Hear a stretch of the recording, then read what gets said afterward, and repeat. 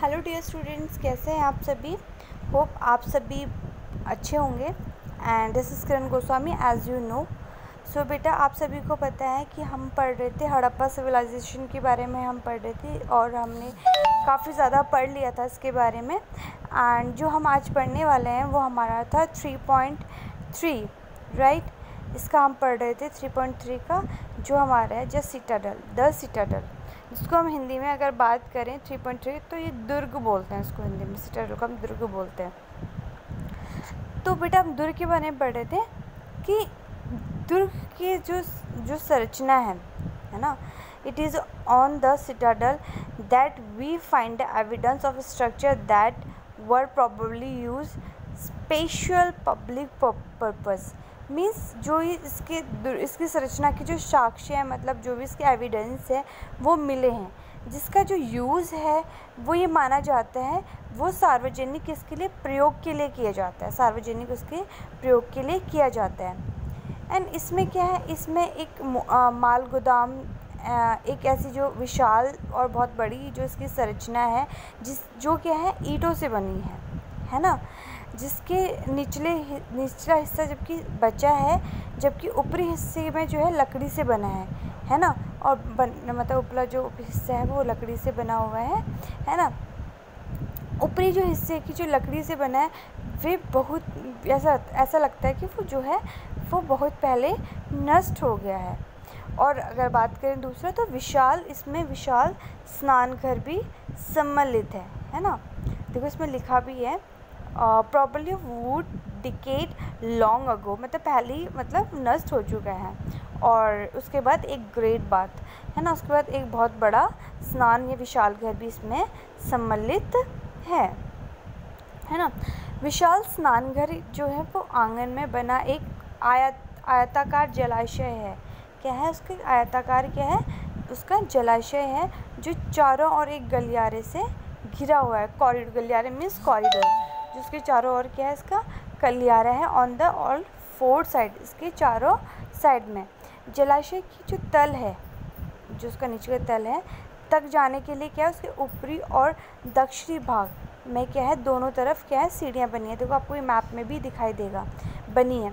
उसमें क्या जलाशय की जो किनारों पर ईंटों को जमा कर क्या किया गया है, गारे के प्रयोग से इसे जलबद्ध किया गया है है ना? फिर क्या इसके तीनों और कक्ष बने हैं। अगर आप मैप देखेंगे तो क्या इसके फिर तीनों और जो है कक्ष में कमरे बने हुए हैं, जिसमें क्या है, एक बड़ा एक बड़ा कुआ है। बड़ा और कुआ है, जो कि जलाशय से पानी एक बड़े नाले तक क्या है, एक बड़े नाले नाले में बह जाता है। इसकी अगर बात करें तो ऊपरी ऊपर एक गली के दूसरी ओर एक क्या है, छोटी संरचना है।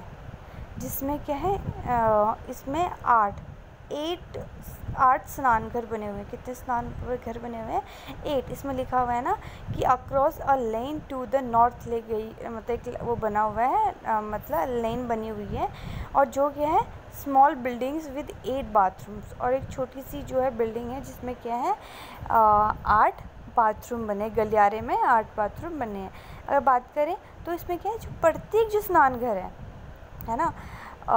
गलियारे में सॉरी गलियारे बनी है और इसकी जो आ, दोनों और चार चार जो स्नान घर बने हुए हैं उस गलियारे में आठ हैं तो चार एक तरफ़ बने हुए हैं और क्या है? चार दूसरी तरफ़ बने हुए हैं।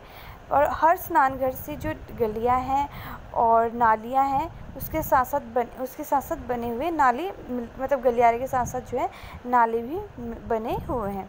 इस इस रचना को आप अगर अनोखापन तथा दुर्ग क्षेत्र में कई कई विशिष्ट सच मतलब संरचनाएँ जो भी बिल्डिंग्स बनी हैं उसके साथ इसके मिलने से इस बात का मीन्स वहाँ पे संकेत मिलता है मतलब वहाँ पे देखने को मिले। तो इससे क्या है आ, मतलब इसके एविडेंस जो है इसमें मिलते हैं है ना? और बाकी देखो इस आपको ये मैप दिया है, इसमें क्लियरली जो भी पढ़ा है, वो पूरा एक्सप्लेन किया गया है कि कैसे है और कैसे किस तरीके से ये लेन इसमें बनी हुई है। और देखो एक येलो बॉक्स दिया बेटा, इसमें क्वेश्चन दिया हुआ है, क्या दुर्ग, क्या जो सिडर सिडरडल है, क्या दुर्ग का जो माल गोदाम और जो स्नान घर के अतिरिक्त भी और भी क्या कोई संरचना है? है ना? ये आप इसका आंसर्स मुझसे देंगे, ठीक है? अब नेक्स्ट टॉपिक में अगर बात करें नेक्स्ट हमारा है ट्रैकिंग सोशल डिफरेंसेस, जिसको हिंदी में कहते हैं सामाजिक भिन्नताओं का अवलोकन, जिसको, और इसका फोर पॉइंट इस फोर टॉपिक का फोर पॉइंट वन है बुरियल्स जिसको हिंदी में हम शवाधान कहते हैं। ठीक है? इसमें क्या बैठा आर्किटोलॉजिस्ट जिसको हम हिंदी में कहते हैं पुरातत्विद। पुरातत्विद ये जानते थे कि क्या जो उसमें जो सांस्कृतिक मीन्स जो हड़प्पा सभ्यता है, उसमें क्या है विशेष उसमें क्या कहते हैं, विशेष में रहने वाले लोगों के बीच सामाजिक तथा आर्थिक भिन्नताएँ थी। वहाँ पे जो लोग रहते थे, उनके बीच में क्या कोई डिफरेंसेस थे?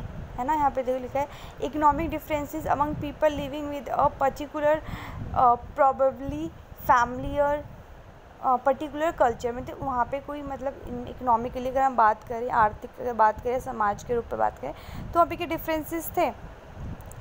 कई कई तरीके से मतलब इसके प्रयोग हुए हैं। इन्हीं इन्हीं विधाओं में से एक शवाधानों का भी अध्ययन है। मतलब उसके बारे में भी एक मतलब स्टडी है। आप संभवत मिस्र के विशाल पिरामिड पिरामिड जिनमें कुछ हड़प्पा सभ्यता के समकालीन थे। से परिचित है। इनमें से कई पिरामिड राजकीय शवाधान थे, जहाँ बहुत बड़ी मात्रा में धन, क्या कि धन संपत्ति दफनाई गई थी। है ना?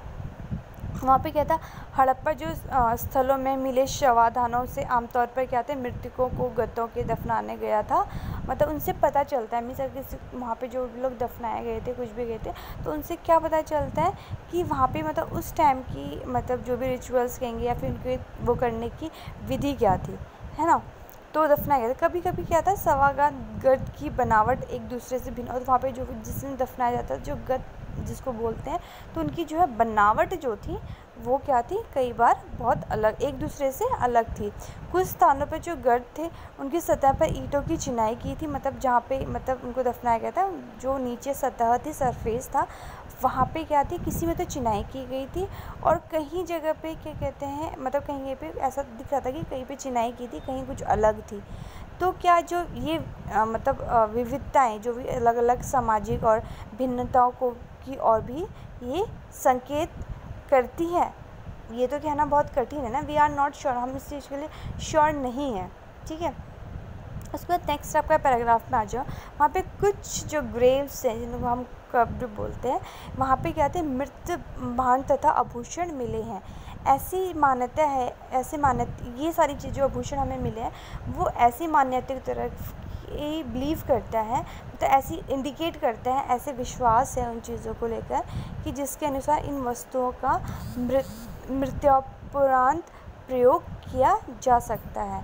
और पुरुष और जो महिलाएँ थी, दोनों के जो वहाँ पे मतलब ग्रेव्स मिली हैं, उनमें क्या थी, दोनों में ही काफ़ी सारे आभूषण मिले थे। ठीक है? अगर हम 1980 के दशक की बात करें तो जो हड़प्पा के जो कब्रिस्तान है, वहाँ पे क्या हैं एक पुरुष की मतलब एक खोपड़ी मिली है, जिसके समीप मतलब जिसके आसपास बहुत सारे, आप कहेंगे, शंख आपको देखने को मिल सकते हैं। नाइनटीन एटी की बात करें तो वहाँ पे क्या है, बहुत सारे शंख आपको देखने को मिल जाएँगे। तीन छल्ले मिलेंगे, छल्लों के मन के तथा सैकड़ों संख्या में सूक्ष्म मनकों से बना एक आभूषण आपको क्या वहाँ पे देखने को मिल मतलब मिलेगा, मिला है। मतलब मिला है वहाँ पे, ठीक है? उसके बाद क्या कहीं कहीं पे मृतकों को तांबे के दर्पणों के साथ भी दफनाया गया था। देखो यहाँ पे फिगर 1.11 में आपको दिख रहा होगा, ये एक तांबे का दर्पण है, जो भी कई सारे ग्रेव्स के साथ ये वहाँ पे मिला था। परंतु अगर हम पूरा ऑल ओवर अगर हम इन सबकी बात करें तो हड़प्पा सभ्यता के जो निवासी थे, इन निवासियों का जो मृतकों के साथ जो बहुमूल्य वस्तु दफनाने का विश्वास नहीं था। अगर हम बात करें तो मतलब ऐसा लगता है कि ऐसा कुछ नहीं था कि जो भी मृतक है, उनके साथ कोई मतलब बहुमूल्य चीज़ें दफनाई जा, जाती हो। ठीक है बेटा? तो आपको ये समझ में आ गया होगा। आज हमने दो टॉपिक्स क्लियर किए and you have to just do only five question and with your homework in next in next class, you have to just tell me, okay? Uh, तो फिर मिलते हैं नेक्स्ट वीडियो में नेक्स्ट क्लास में and next topic के साथ and next topic will be R four point two looking for the luxuries and it will be our next topic so बेटा you if you have any kind of problem so you can ask me can text me I will discuss with you okay so see you in next video तब तक के लिए bye take care